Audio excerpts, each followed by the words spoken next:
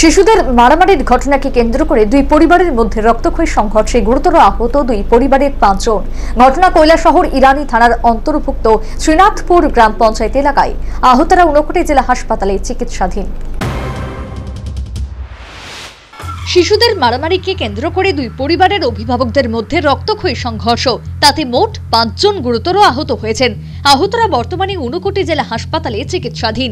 ঘটনা কৈলাসহর ইরানি থানার অন্তর্ভুক্ত শ্রীনাথপুর গ্রাম পঞ্চায়েত এলাকায়।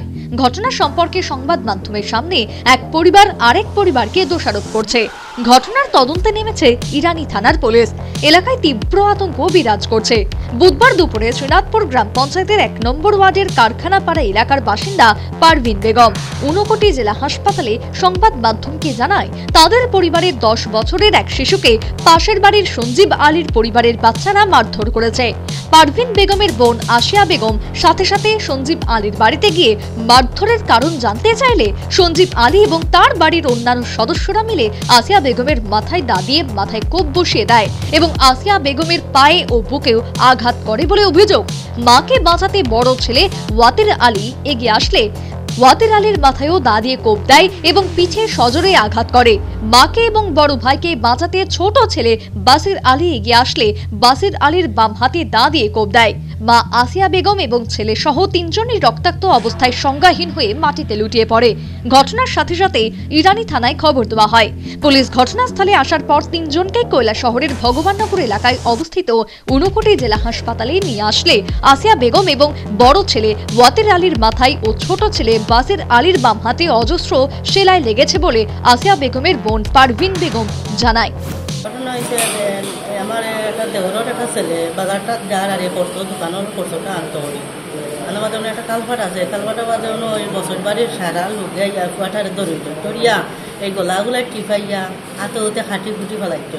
এই আমার একটা ফুলার বউ এগা বাধা দিছে, কি বাধা দিব, আমার ফুয়াইন গেছে যাও বাদে ফুয়া হবরে ছাড়িয়া তুইয়া ইয়া।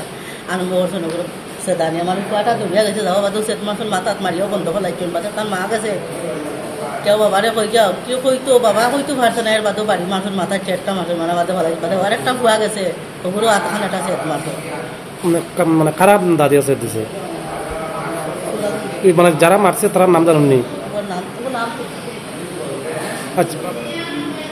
যারা মারধর করছে তার নাম জানেননি তারা মায়ের যারা করছে মসই আলী বেগুন নাম নুরাল মঞ্জির তারা বাড়ি কোন জায়গায়? আপনার বাড়ির পাশে নেই? আমরা বাড়ির পাশে। অপরদিকে, সঞ্জীব আলী সংবাদ মাধ্যমকে জানায় যে সঞ্জীব আলীর সপ্তম শ্রেণীতে পাঠ্যরত ছেলেকে আসিয়া বেগমের পরিবারের বাচ্চারা মারধর করেছে। মারধরের কারণ জানতে চাইলে আসিয়া বেগম এবং তার দুই ছেলে সহ পরিবারের অন্যান্য সদস্যরা মিলে সঞ্জীব আলীকে বেধরক মারধর করে। স্বামীকে বাঁচাতে সঞ্জীব আলীর স্ত্রী জ্যোৎস্না বেগম এগিয়ে এলে জ্যোৎস্না বেগমের মুখে দা দিয়ে কোপ বসে দেয়। সাথে সাথে সঞ্জীব আলী এবং জ্যোৎস্না বেগম সংজ্ঞাহীন হয়ে মাটিতে লুটিয়ে পড়ে। পরবর্তী সময় ইরানি থানার পুলিশ ঘটনাস্থলে আসার পর ওনারা ঊনকোটি জেলা হাসপাতালে চিকিৎসার জন্য আসে বলে সঞ্জীব আলী জানায়। আমি ডিডাব্লিউএসের ফানি খাবাই গাড়ি দিয়ে নিয়ে।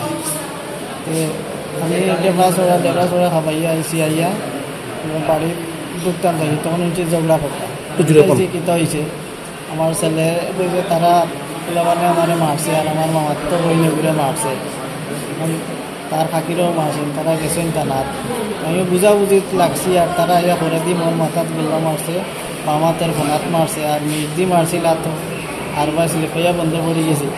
ওনার ঘরে আর লাগছে না। আর বাদে যে আমার মিসেস তারা মারছে চাকরি ফার্মার ইচ্ছে চকুন নিছে আর বাড়ি যাইছে।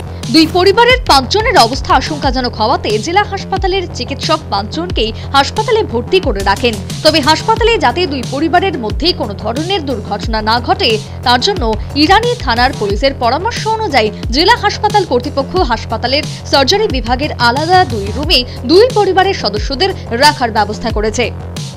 Bureau report, news Vanguard.